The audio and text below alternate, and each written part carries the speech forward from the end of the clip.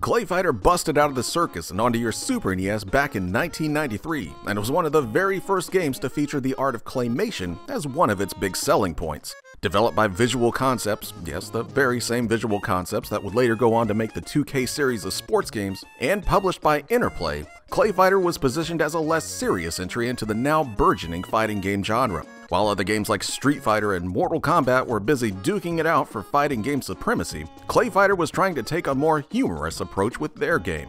So did Clay Fighter succeed in being a great alternative choice for fighting game fans? Or was it relegated to that dark part of the circus tent that no one wants to go to because it's all damp and smells weird? Well, slather yourself with your favorite clay, because we're about to see if Clay Fighter melts underneath the spotlight. Start up Clay Fighter and you're treated to what has to be one of the more cringe-worthy opening theme songs ever made for a game.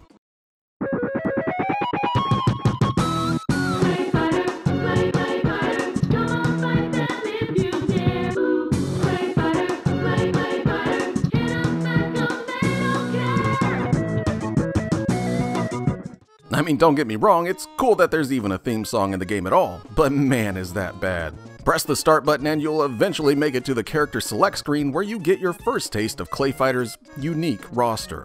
Filled with such timeless warriors as a snowman and a clown that appears to have been ravaged by years of meth addiction, your first big challenge in Clay Fighter is just trying to settle on which one of these guys or things to represent you in the game. Yes, again, I get it, Clay Fighter's supposed to be goofy and crazy and all these characters come from the circus and so on, but even as a kid playing this, I wasn't finding this mishmash of bad stereotypes and reject Saturday morning cartoon characters funny in the least. Still though, you're gonna have to pick one if you want to continue, so just choose the character or thing that makes you the least uncomfortable, and then get ready for even more wacky fun.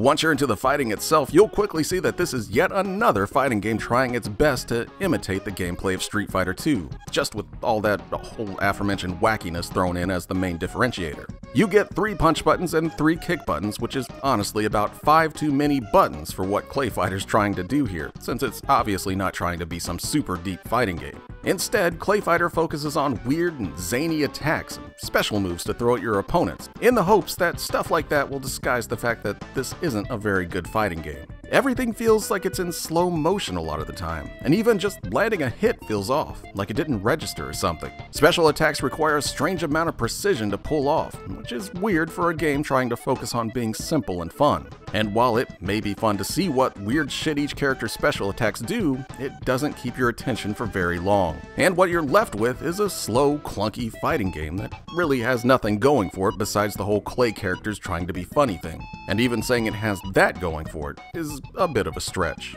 Yes, if you couldn't tell, the whole gimmick of Clay Fighter is the Clay characters and backgrounds. Every character was at one point handmade and animated, resulting in the digitized look of the characters. And while this could have been really neat, Clay Fighter somehow manages to mess up the one thing it tried so hard to nail. First off, the characters are animated horribly, instantly losing whatever cool hand animated look it could have had. Everything you do with a character seems overly choppy, which doesn't help the already bad controls. And I already touched on just how bad the character designs are, but I feel it's worth mentioning again because good god are they bad. You know you're getting into something special when an angry snowman is the most compelling character in the entire game. The rest of the characters circle the toilet of bad design choices, culminating with a boss that's literally just a spinning circle with googly eyes on him. The rest of the game looks just as bad, with backgrounds so ugly and uninteresting that it somehow manages to make the characters themselves look okay. It's really sad too, since Clay Fighter could have genuinely been a striking game with better art design and direction. Instead, we're left with the equivalent of a giant clay turd of a game.